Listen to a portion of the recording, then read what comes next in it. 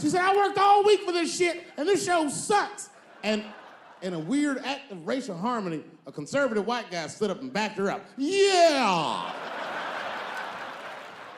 the whole crowd band together and started chanting, We want our money back. We want our money back. I